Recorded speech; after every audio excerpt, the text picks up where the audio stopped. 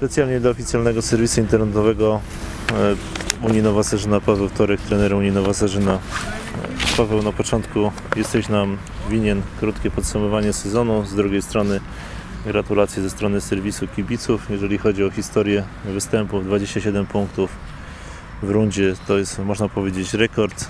Jak oceniasz tą rundę? No całą rundę należy ocenić pozytywnie. Wykonaliśmy, można powiedzieć, tak w cudzysłowie 100% normy, choć, choć troszkę pozostawia niedosyt mecz w Białej Podlaskiej, bo uważam, że piłkarsko byliśmy lepsi, jakby nie, lepsi, jakby nie warunki na boisku, śnieg po kostki, także myślę, że ten wynik byłby chyba nieco inny. Wiadomo, że niektóre mecze wygrywaliśmy w 90 minucie, można powiedzieć, że to dość szczęśliwie, ale to chyba jest kawał dobrej roboty wykonanej przez zespół i, i myślę, że to jest ich przede wszystkim zasługa te punkty. A, a mówię, straciliśmy w niektórych meczach punkty, w których byliśmy zespołem mimo wszystko lepszym. Także podsumowując całą rundę należy uznać ją za w miarę udaną. E, Super nowości podsumowując sezon rundy jesiennej piszą o kapitalnej rundzie Unii, zaś gazeta codzienna nowiny w swoim prasowym alfabecie pod literką W piszą szale dziesiątkę z trenerką. Jak to odbierasz? Czy jest to dla Ciebie przysłowy kop dający dodatkową satysfakcję ze swojej pracy? Ja zawsze ja traktuję zawód trenera jako, jako powiedzmy tam y, rzecz, którą, którą, y, którego celem jest przygotowanie zespołu do, do sezonu. Czegoś nie zepsucie, a, a, a powiedzmy tam zrobienie czegoś na plus i ja uważam, że większość sukcesu to jest, jest zasługa chłopców i wysiłku ich włożonego w mecz, a powiedzmy jakiś tam pewien odsetek, pewien procent to jest zasługa trenera powiedzmy przygotowanie fizyczne i, i, jakieś przygotowanie taktyczne, przygotowanie powiedzmy jakiejś strategii na mecz. Także mówię, ja, ja, ja to oceniam rolę trenera bardziej taką, żeby pomóc, ale, ale tak powiedzmy na plus niż, niż, niż, niż coś tam zepsuć. Jakoś tam specjalnie powiem szczerze, że się tym za bardzo nie podniecam i, i mówię, no robię to co, to, co lubię. Jakiś tam powiedzmy mam swoje, swój pomysł na to i, i cieszę się, że to w jakiś, jakiś sposób dobry się to układa.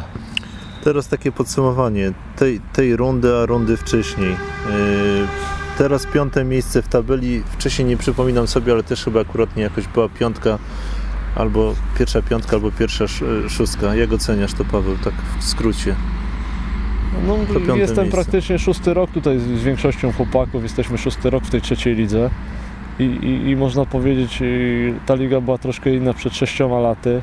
Jest troszeczkę inna obecnie, cały czas ona się zmienia, zmieniają się też drużyny, niektóre spadają, niektóre, niektóre awansują. E, uważam na plus jedną rzecz, że pojawia się dużo młodzieży, to jest, to jest, to jest plus. I, i, to, i to trzeba zapisać naprawdę jako, jako pozytywna rzecz dla polskiej piłki. A, a mówię, no piłka się zmienia, no część chłopców, no nie ma niestety, trzecia liga nie będzie profesjonalna i część chłopców pracuje, może na tym ta liga traci, że, że powiedzmy te, te okresy przygotowawcze, czy te mikrocykle są, są jakie są, powiedzmy też człowiek ma rodzinę, pracę, musi troszeczkę i, i, i czasu poświęcić na, na, swoje sprawy osobiste i może pod tym względem troszeczkę liga straciła, że ludzie po prostu musieli iść do pracy i piłka nożna jest powiedzmy jakby troszeczkę takim dodatkiem, drugim zawodem no, jakąś powiedzmy pasją. Także może pod tym względem jakieś tam powiedzmy od strony przygotowania fizycznego ta liga może straciła. Ale mówię, na plus to jest i duży plus, że tej młodzieży jest, jest coraz więcej i mam nadzieję, że, że będzie bardzo dużo. Druga kwestia kartki. Wcześniej kartek było 32 naliczę, teraz 39 żółtych. Z czego to wynika? Powiedzmy sobie szczerze, do większości kartek nie można mieć pretensji, bo, bo powiedzmy za, zakładamy sobie, że walczymy w meczu. No ciężko wymagać od chłopaka, żeby on w czasie ferworze walki myślał, czy ma dostać tą żółtą kartkę, czy nie. I, i mówię, były tam pojedyncze kartki, zagadanie, to, to wiadomo, że to jest, to jest dyskwalifikacja za taką kartkę i, i, i powiedzmy to powinno być w takich normalnych zasadach ukarane ale mówię, większość, większość kartek wynikała powiedzmy z walki i, i, i, i, to był właśnie powód tych żółtych kartek dużej ilości. Stosunek bramkowy. Wcześniej 21, teraz 26, wcześniej straconych 15, teraz 17. No widać, że zespół zaczął więcej bramek strzelać. Z czego to dodatkowo wynika tutaj Paweł? No, zakładaliśmy sobie od początku sezonu, że, że nikogo nie będziemy się bać, z każdym wychodzimy grać o trzy punkty, może takie powiedzmy nastawienie ofensywne. No i mimo wszystko w tą piłkę, obojętnie w której lidze, to się gra dla ludzi i, i, i mówię, no ludzie chcą przychodzić, oglądać bramki, Mhm. oglądać, żeby drużyny atakowały, grały ofensywną jakąś piłkę i na miarę swoich możliwości próbowaliśmy stworzyć taką grę właśnie ofensywną. No różnie, z różnym skutkiem to się układało, ale myślę, myślę że akurat y, pod tym względem to, to zrobiliśmy, można powiedzieć, jakiś krok do przodu. Tak, przyglądając statystyki zobaczyłem, y, która drużyna gra najbardziej fair w naszej lidze. Nie wiem, y, na boisku oceniłeś, tak, które zespoły byś dał, że grały fair? każdy walczy o trzy punkty, powiedzmy, zdarzają się tam różne jakieś uszczypliwości, jakieś słowa powiedziane, ale myślę, że jakiejś tam większej złośliwo- złośliwości między zespołami nie ma. Wiadomo, że jedne zespoły tam się bardziej lubią, drugie mniej. No to jak, jak, jak w piłce, jak, ze jak w życiu. Ze, ze statystyk zobaczyłem, że y, Stalmier jest 26 żółtych, Awia 27, bez żadnych czerwonych kartek. Widać, że boiskowi dżentelmeni, jeżeli można to powiedzieć ze statystyk, jakie są na 90minut.pl. A ze strony tych takich, można powiedzieć, zakapiorów, rozrabiaków, to co zauważyłem, to drugi biegun, czyli lubelskie, Lubliniankę 46 żółtych, 6 czerwonych, Chełmiankę 42 żółte, 3 czerwone. Czy można zauważyć tutaj na boisku na przykład, że lubelskie ekipy są bardziej agresywne na boisku, większe jednak, jednak wymagają większe, większe, większe jakieś walki na tym, jak, jak to, z czego to wynika w sumie? No Powiedzmy sobie szczerze, że niektóre zespoły mają drużyny kadrowo bardzo mocne i, i preferują jakąś powiedzmy tam grę y, zdecydowanie w piłkę, a niektóre pewne mankamenty muszą, muszą neutralizować walką i podejrzewam, że te kartki to wynikają z tego, że no niektóre rzeczy powiedzmy braki jakieś techniczne, taktyczne trzeba, trzeba uzupełniać walką i nadrabiać walką, także to jest chyba główna przyczyna tych kart. Paweł, teraz przejdziemy na ten Twój ulubiony grunt włoski. We Włoszech tradycją są wizyty całych rodzin na stadionach, atmosfera piłkarskiego święta. Czy tego doczekamy się u nas? Jak Wy jako piłkarze, czy też trenerzy odbieracie mniejszą frekwencję na stadionach piłkarskich? Jak dużo nam brakuje do tych Włoch? No, we Włoszech też jest problem z frekwencją, także, także to nie jest tylko problem Polaków. Także we Włoszech też, też są różne problemy, tam też nie jest kolorowo.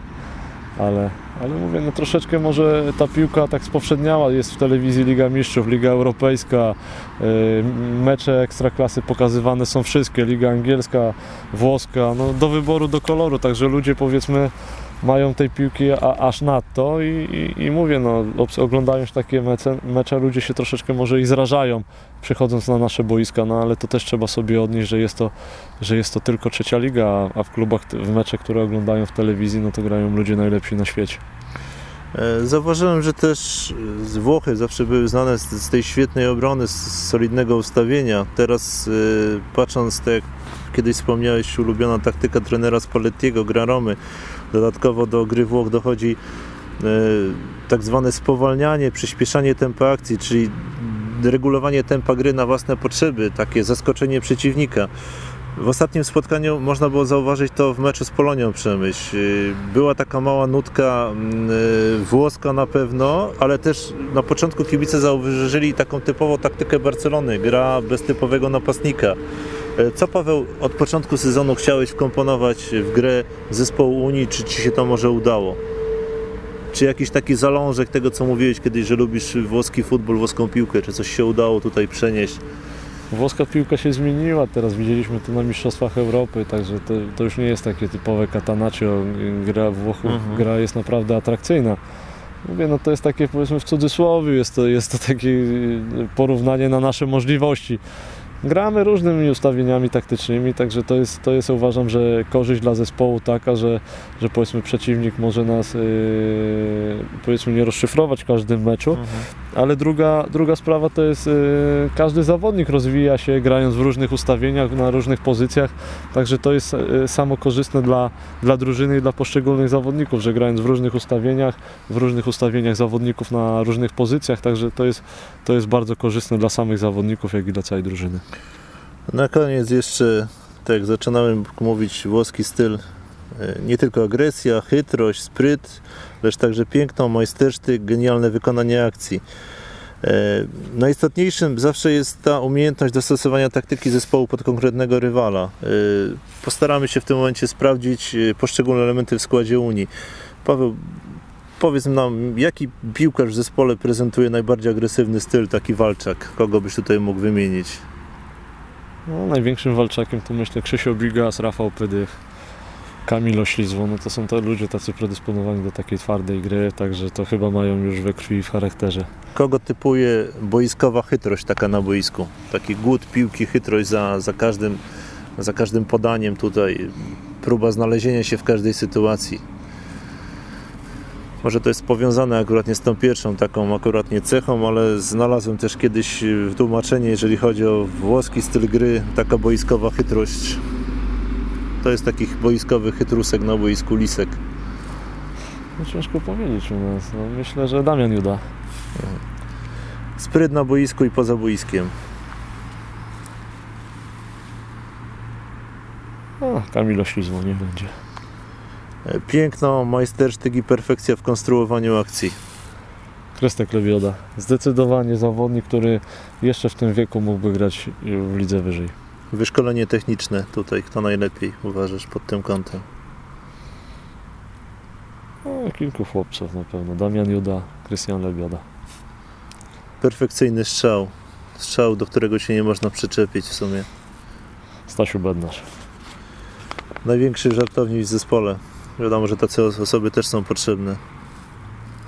Stasiu Wierzgacz, Kamil Oślizło. Największe ilości żelu w drużynie idą na głowę.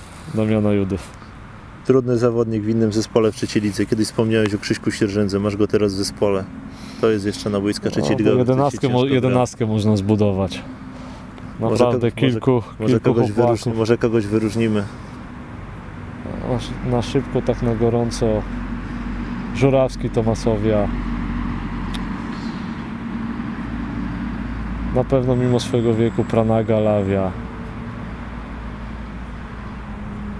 Eee, No nie kojarzę, nie pamiętam dokładnie wszystkich nazwisk, bo mi się Mhm. przewijają Mhm. twarze i, i Mhm. powiedzmy młodzieżowiec Tomasowi, chłopiec, który się tam nazywa Słotwiński bodajże.